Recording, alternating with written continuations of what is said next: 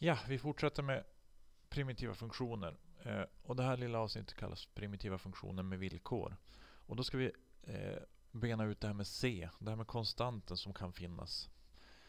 Eh, så huvudfrågan här är egentligen, hur tar man reda på vad det här C är? Om man har en primitiv funktion med ett C i. Jo, och då måste man ha någon slags villkor i uppgiften för att det här ska vara så.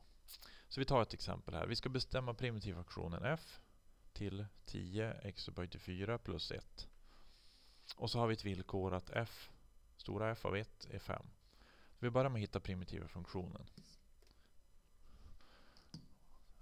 Eller samtliga primitiva funktioner kanske vi ska säga till och med. Stora f. Vi använder reglerna. Den där ska ökas med 1. Så vi har 10 x upphöjt till 5 och sen ska det delas med den där siffran. 5 plus 1. Ja, då blir det ju x. För deriverar man x så blir det 1. Och så har vi plus ett c som vi inte vet vad det är. Det här kan vi förenkla lite grann. Vi kan ju ta 10 delat till 5 och få 2.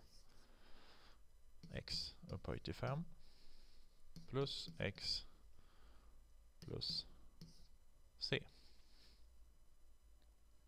Nu ska vi ta reda på vad det här C är. Och har man då ett villkor så här att om x1 så är funktionsvärdet 5 i den primitiva funktionen. Ja, vad ger det oss? Jo, vi vet att 5 ska vara lika med om vi sätter in 1 på alla ställen där vi har x här. Då har vi alltså 2 gånger 1 upphöjt till 5 plus 1 plus c. Nu kan vi ta reda på, på C här. Om vi förenklar det här. 5 är lika med 1 upphöjt till 5 är 1 gånger 2 är 2 plus 1 plus C. 5 är lika med 2 plus 1 är 3 plus C. Och vad innebär det då? Jo, att C är 2.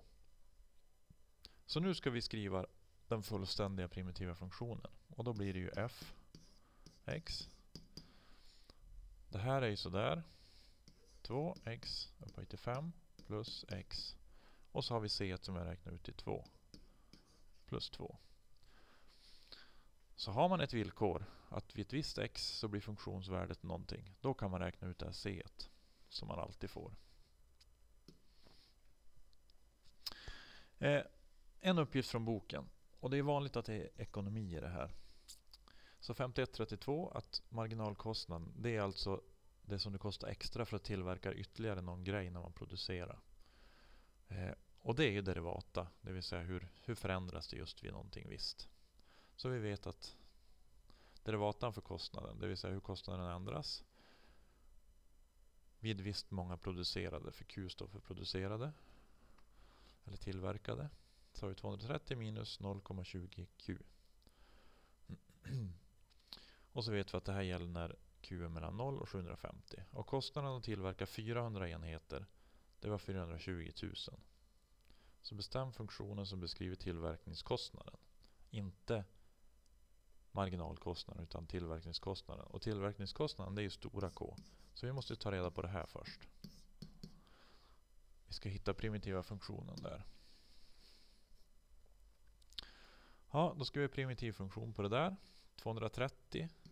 Det blir ju 230 och inte x utan q är det ju nu istället. Men det är samma princip. 0,20 q.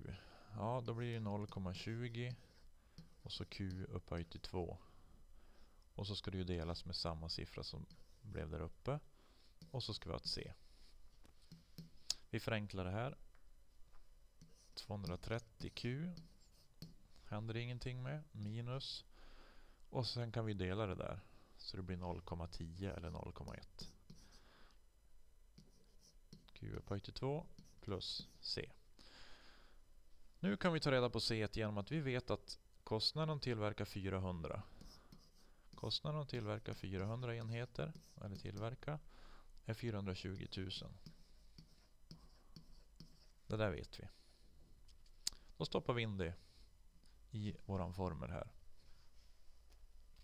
420 000 är lika med 230 gånger Q som var 400 minus 0,10 gånger 400 upphöjt till 2 plus vårat C. Vi har 420 000 är lika med vi tar fram våran miniräknare. Kan vi lägga här uppe. 230 gånger 400 920 000 minus eh, 400 upphöjt till 2 oj då. Inte 4000 400 upphöjt till 2 gånger 0,1 eller 0,10 16 000 plus vårat C. 420 000 är lika med 920 000 minus 16 000. Det borde bli 904 000 plus C. Vi fortsätter här uppe.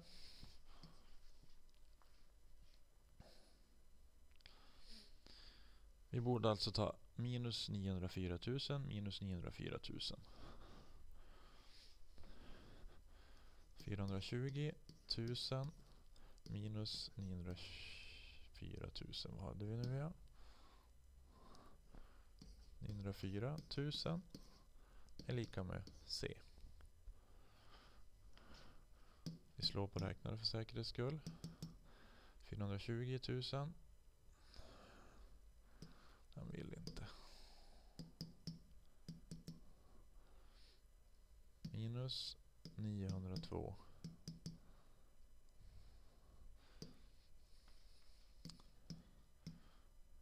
Nej, han var tjurig. 4, 20, 1, 2, 3.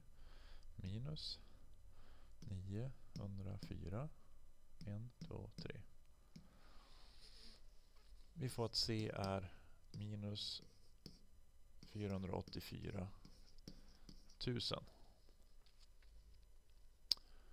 Så bestäm funktionen som beskriver tillverkningskostnaden. Och där ser jag att minus 484 000, det är ju ganska logiskt egentligen. Därför att det kostar, man har alltid en startkostnad.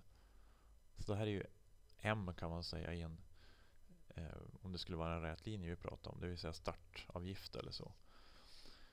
Eh, så det är logiskt att det blir ett minustal. Mm. Och då får vi alltså att K Q är lika med eh, och vad hade vi nu då? Vi hade 230 Q minus 0,10 Q upphöjt till 2 minus, och nu tar vi en ny rad här, 484 000.